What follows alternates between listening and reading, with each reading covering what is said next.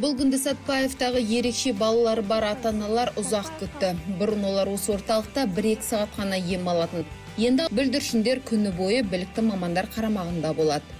мини-центріміз бар қалада бірақ ол күні бойы онда балалар не отыра алмайды оның қасында ата аналар болу керек сондықтан да былтыр ата аналармен жи- жиналып сонда ата аналар маған сұрақ қойған. Осындай балабақша неге ашпасқа қалдыңыздар бүгін өздеріңіз көріп отырғаныңыздай орталық ашылды қаламызда. Жыл, жылда байқаймыз қандай ә, даму бар балаларда? Жетістіктеріміз бар былай қарағанда. Оны ата аналар да өзі де айта алады. Бүгінде Сатпаевта 200-ден астам мүмкіндігі шектеулі бала бар екен. Оның 42-сі медициналық көрсеткіштер бойынша аталған орталыққа жолдама алған. Тірек қимыл аппараты бұзылған және психомоторикасында тежеуі бар балаларда осында.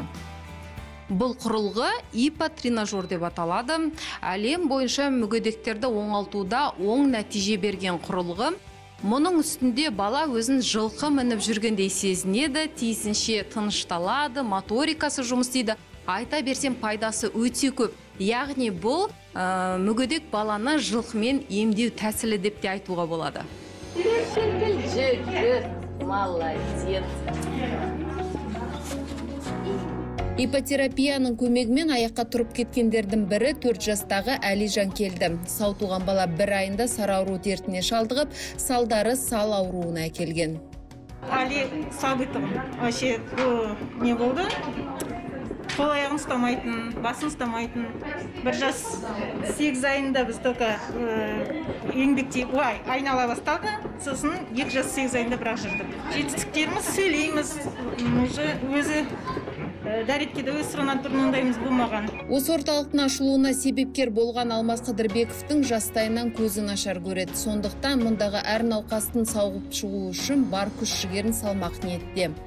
ұжымымызда жүз пайыздық бір бағыт қана бір э, күш салып барлығымыз осы жұмысты атқарғанның арқасында біз қазір бүгін қырықтан астам баланы мысалға қамтамасыз етіп отырмыз. Жаңағы массаж болсын лфк болсын және де осы мынау қарағанды облысы бойынша ең бірінші осы нығмет орталығы ипотерапияны іске қосты.